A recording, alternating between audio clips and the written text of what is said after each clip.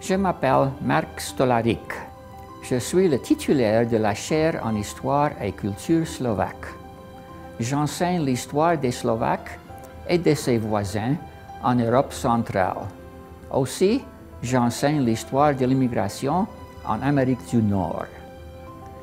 J'étudie les questions concernant l'immigration en Europe et en Amérique du Nord, particulièrement comment les immigrants en Amérique du Nord ont établi des institutions qui leur permettent de préserver leur langage et culture et aussi comment ils communiquent avec leurs anciens pays et comment ils influencent les développements politiques, sociaux et économiques dans leurs anciens pays.